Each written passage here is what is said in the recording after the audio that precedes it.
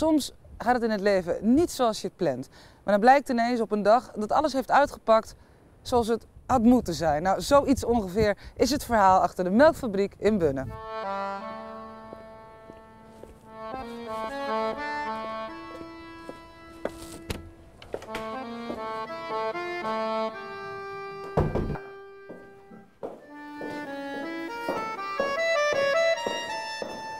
Nou, Ilko, er was onder meer een faillissement en een hele knotsgekke droom voor nodig om uiteindelijk hier in de melkfabriek terecht te komen. Ja, ja. Eerst was dit een knotsgekke droom. En toen ging het even wat minder. Ja. Dus uh, toen moesten we weer opnieuw opbouwen. Maar... Nee, we hebben, we hebben jarenlang rondgelopen met het idee om een eigen uh, plek te hebben waar we uh, trainingen, vergaderingen. Maar dat had overal kunnen zijn. Dat had overal kunnen zijn. Ja. We zijn ook overal geweest. En uiteindelijk zijn we hier terechtgekomen. Toen we hier binnenkwamen, toen waren we meteen verliefd vanwege het geweldige Jij licht. en je echtgenoten. Ja. Als je nou door het pand heen loopt, hè? je zei al, jullie waren verliefd op het licht. Het heeft een hele aparte eigen uitstraling. Ja. Dat, dat is ook de bedoeling geweest om wat van het verleden door te laten schemeren in het heden. Hè? Ja, wat we geprobeerd hebben is uh, zoveel mogelijk uh, elementen te houden die erin zaten die we konden gebruiken. Nou, wat je hier bijvoorbeeld ziet, uh, tegeltjes. Ja. Ook al zijn ze beschadigd, ook al zijn ze vuil, het maakt niet uit. Die trappartij daarboven, dat zijn echt dingen waarvan we gezegd hebben, van, nou dat moet blijven. Ja, en we staan dus nu in de filmzaal.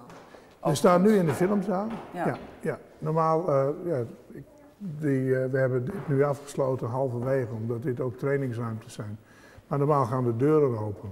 Nou, dan heb je hier een geweldig mooie grote zaal. En hier hangen ook schilderijen, net als in de andere ruimte, van een van de huidige... Ja, die zijn net gisteren uh, zijn die opgehangen. Dit is de voorbereiding van de expositie van komende, die wordt komende vrijdag geopend. Dus dit hangt er normaal niet.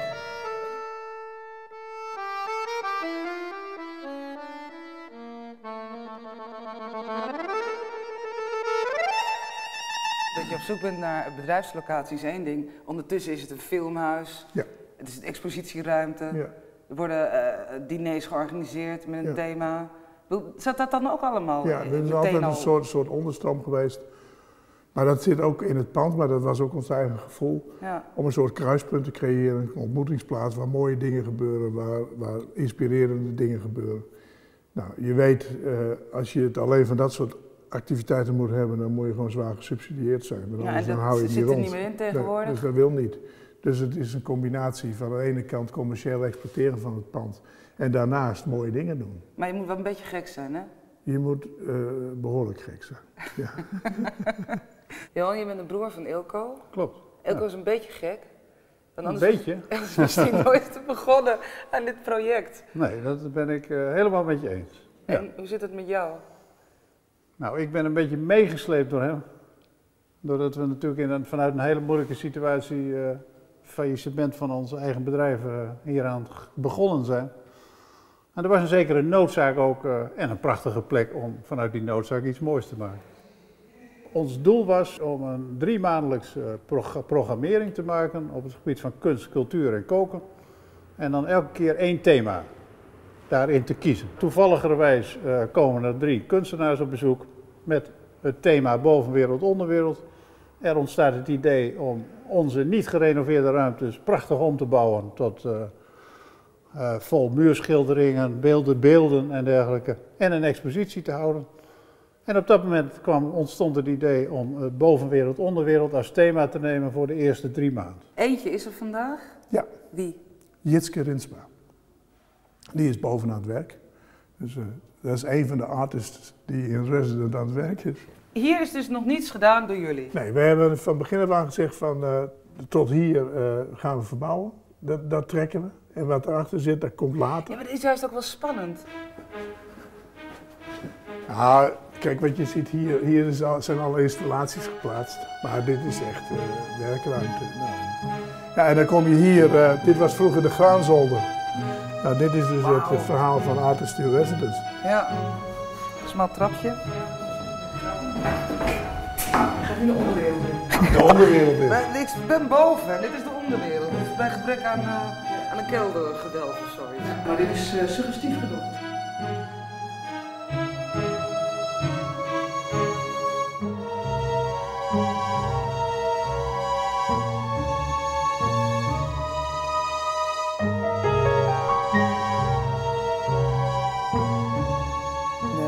Inspireren op de Odyssee van Homerus. Daar staat een prachtig verhaal in van de reis van Odysseus. Ja.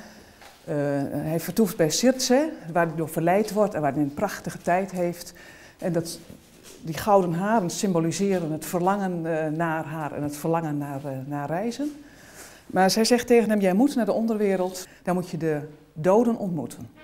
En het grappige is, hij mag alleen kijken naar de doden. Die komen naar hem toe en hij offert en ze drinken bloed en dan kan hij met, met hun spreken.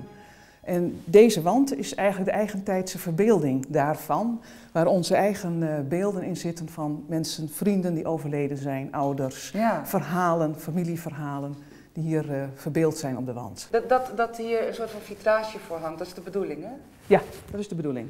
En dat werken we nog verder uit, omdat we hiermee een soort uh, indirectheid, een soort mist willen creëren. Ja. Als Odysseus bij de Hades komt, ziet hij ook schimmen en is het ook nevelig.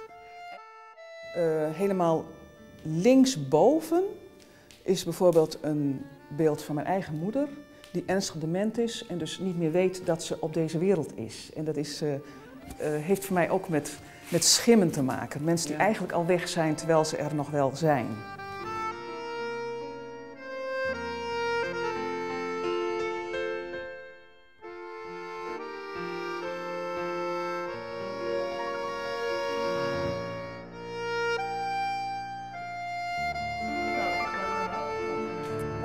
Was je als een kunstwereldman dat je iedereen kende en...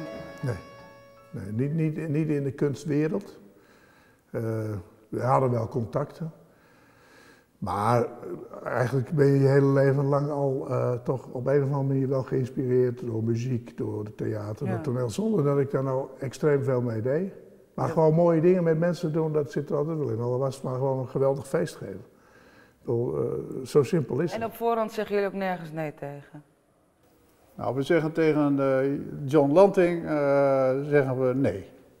Dus we willen geen feesten en partijen in de gebaande paden. We willen toch wel iets wat inspirerend en nieuw en anders is. Degenen die hier komen, die moeten een beetje weten dat het iets nieuws is wat ze tegenkomen en dat het een verrassende, uh, inspirerende omgeving is waarin ze zitten. Ja. Wat in de ruimte hiernaast? Dat is jullie. Uh, dat in is de ruimte hiernaast verbeelden ze dus veel meer de reis, noem het maar de levensreis. Het is de, de gouden haren van Circe oh ja, als, door, als hè? verlangen. En het verlangen gaat door naar de andere ruimte. En deze ruimte is veel lichter Ja. en is ook de verbeelding van de reis. En je ziet de haren van Circe gewoon helemaal de oneindigheid ingaan. Mogen mensen hier kijken op een gegeven moment? Of is dit, jullie, is dit jullie laboratorium? Het is wel ons laboratorium, maar er zijn momenten, dan mogen ze hier kijken. 11 februari hebben we een opening en dan gaan we een rondleiding doen hier weer. En Ja. af en toe ont- ontvangen we mensen. Maar het is nu inderdaad echt werk in uitvoering. Het is nog rommel, dus we gaan het nog deze week opruimen en eh, toonbaarder maken. Maar, eh, Ik heb wel een soort rare ambitie, rare droom van je moet in Bunne geweest zijn. Je moet in de melkfabriek geweest zijn. Kijk, als wij het hebben over, eh, ik noem maar wat, het Bimhuis in Amsterdam of Paradiso of wat dan ook. Bedoel, dan heb je zoiets van, nou dat zijn namen, daar moet je geweest zijn. Nou, de melkfabriek in Bunne moet je ook geweest zijn. En dat klinkt natuurlijk bizar. Waar heb je het over in de vergelijking? Maar dat wil ik wel graag nastreven.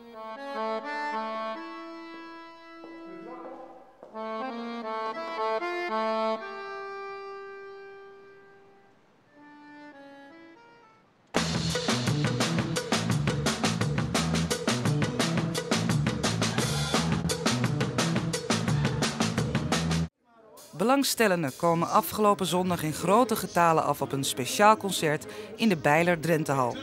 Het Drents Jeugdorkest speelt die middag samen met en nummers van boerenrockband Mooi Waar. Je stopt je geld in de zak, maar dan ga je te nek. De feest en wat doen je achterijn.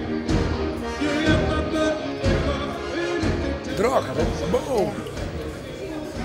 Onvoorstelbaar. Alle, alle leeftijdscategorieën.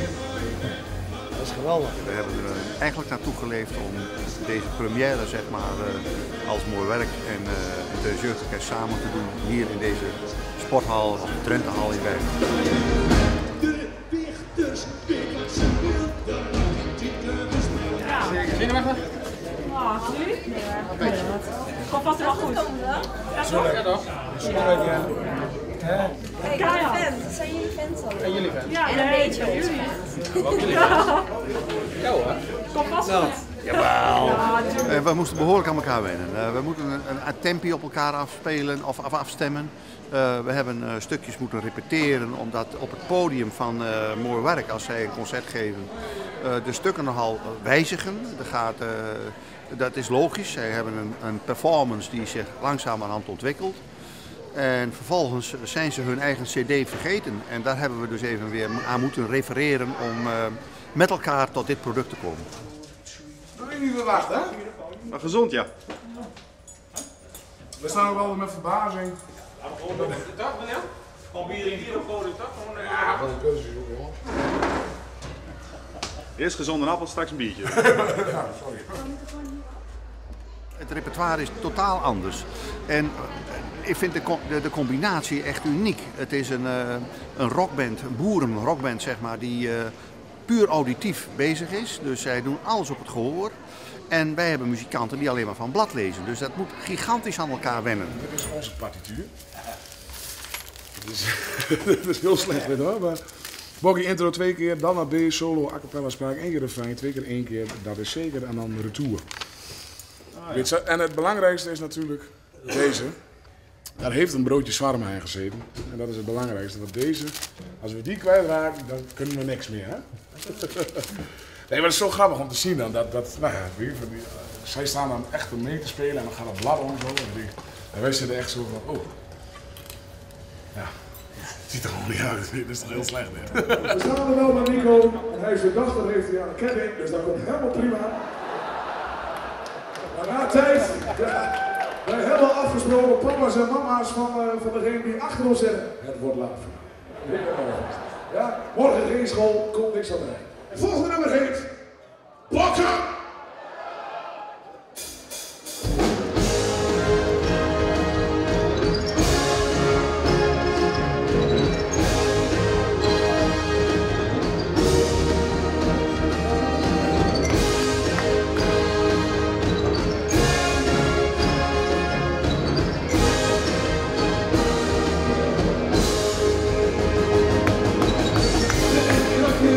Mooi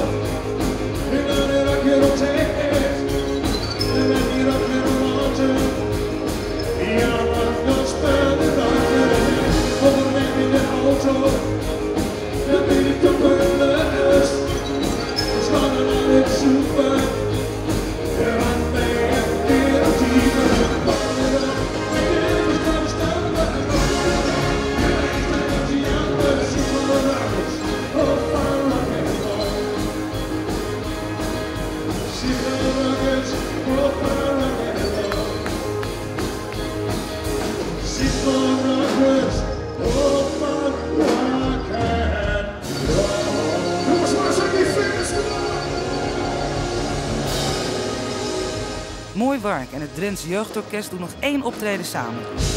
En wel op 13 mei in de Bonte Wever in Assen.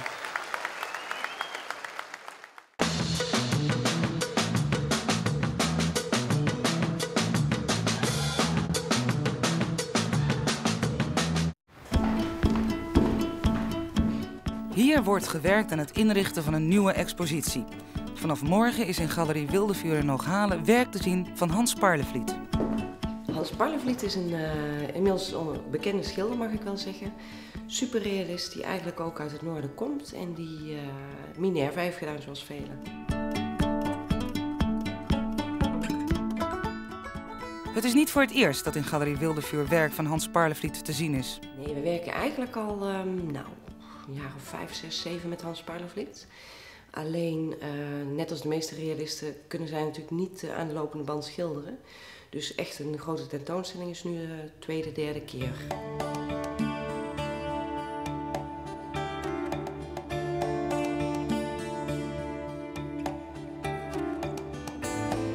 Ik geloof in iets opbouwen. Ik geloof eh, in hè, echt met een kunstenaar samenwerken, zodat je samen op de lange termijn iets moois kan bereiken. En dat kan je niet met één tentoonstelling, daar moet je meer voor doen. Ja.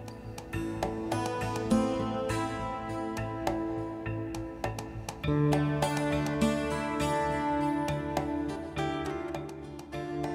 de galerie vind je alleen figuratieve kunst.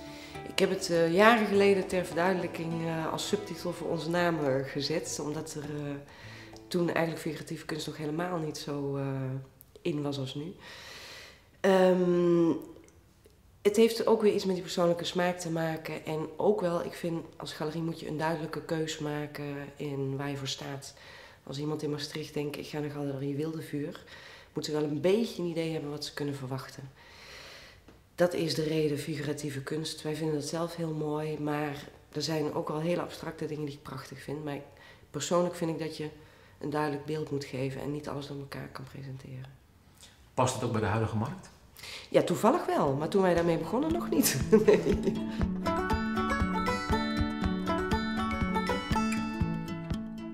De economische neergang van de afgelopen jaren betekent minder klanten in de galeries in Drenthe, zou je denken. Het ligt een beetje ingewikkeld. Eigenlijk in de kunst lopen wij altijd een beetje achter de feiten aan. Normaal gesproken, wij doen het al zo'n bijna 20 jaar. Met alle dipjes, twin towers en zo kwam de klap bij ons altijd later. Als de economie weer aantrok, dan begon het bij ons wat slechter te worden. En vraag me niet waarom. Deze keer ehm, hebben wij zitten wachten op de dip. We waren er ook helemaal op voorbereid.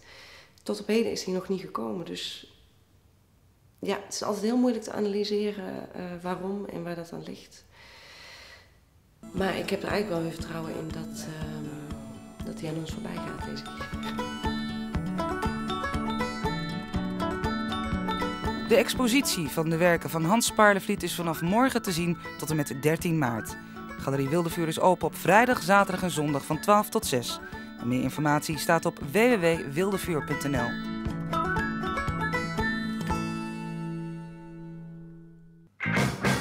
En er gebeurt meer op cultureel gebied. Het Haydn Jeugd Strijkorkest onder leiding van Jan Ipen Nota geeft zondag 13 februari om 3 uur een concert in de Dorpskerk van Borgen.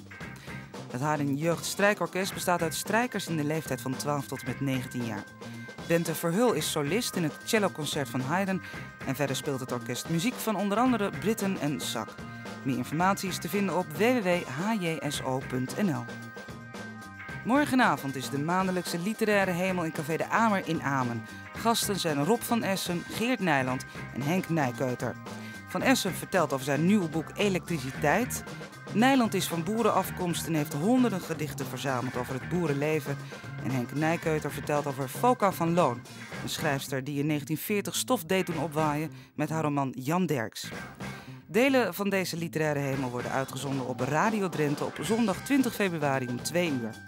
Meer informatie is te vinden op www.literairehemel.nl. Voor een expositie in het Koetshuis in Roden is werk van vier kunstenaars bijeengezocht onder de noemer Kunst met een glimlach. Dat zijn Carmen Schilstra, zij werkt met acryl, krast, knipt en plakt. Ingrid Mertens, die schildert en ruimtelijk werk maakt. Ali Kalverda met beelden en Henk Slomp met onder meer karretjes van metaal en glas. De expositie loopt tot en met 27 februari en meer informatie staat op www.culturelekringroden.nl.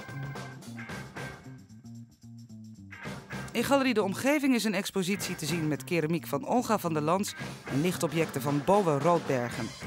Van der Lans werkt met de zogeheten sgraffito-techniek die uit de renaissance stamt. En Roodbergen exposeert naast zijn lichtobjecten ook foto's en grafietschilderijen.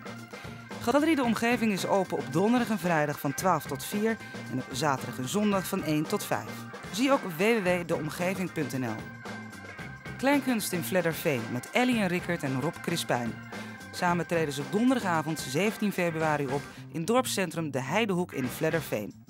Ellie en Rickert met liedjes en verhalen en Crispijn, bekend als tekstdichter en cabaretier. De avond in de Heidehoek begint om 8 uur en meer informatie is te vinden op www.fledderveendrenthe.nl.